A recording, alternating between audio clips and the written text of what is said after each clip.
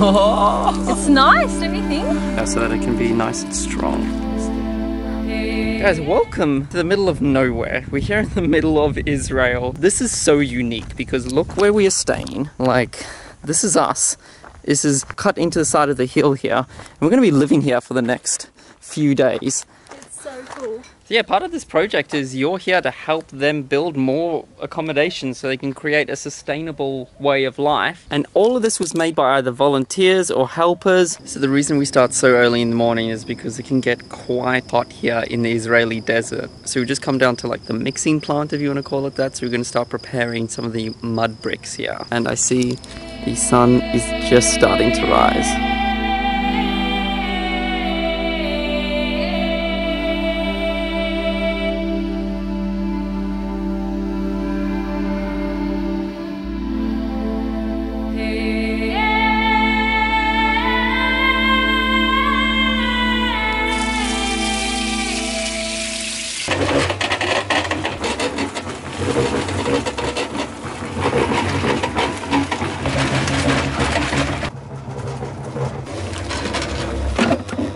Done.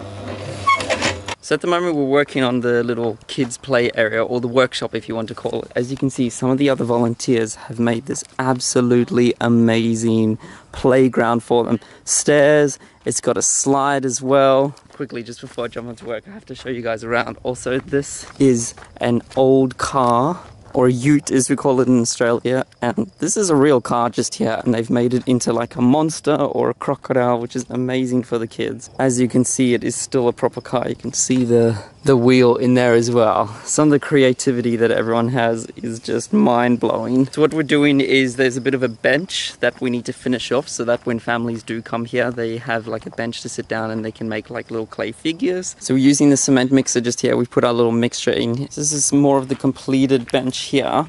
As you can see, we've started to lay out the bricks and we're just putting the final touches on there.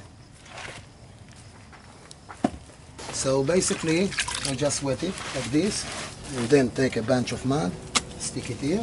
Again, with water, it's very easy to, to see, mm. to smooth it. Cooperation.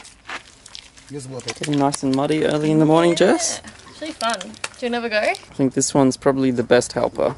It's a big go, juicy sir. bit. And then you have to put some water on your Yeah, hands. yes. If you use water, it will be so much easier. You see it's really like a plastilina. Alright, we've come to the makeup station. We have some leftover clay we've just made up here with uh, bits of the Dead Sea in here, so it's meant to be really good for the skin. Jess is jumping straight in there. Yes, Feels really good. Think how much people would pay to this get this type of thing. it's nice, don't you think? It is, but It's really like soft.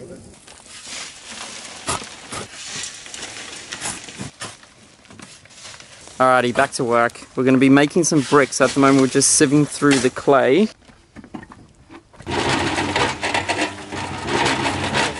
I love how Jess is doing her work and at the same time getting her facial done.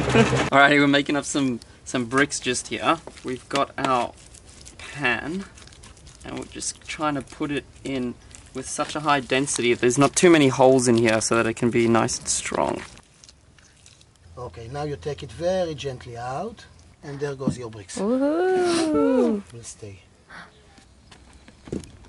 Alright, we started preparing breakfast for the morning. We've stopped work.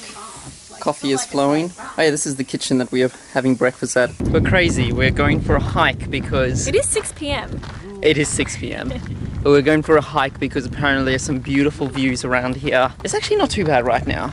You know, I bet you once, seeing as we're in the desert, I bet you once the sun drops, it's gonna be way cooler. True. You know, they always say like you need to bring like a jumper and an electric blanket to the desert.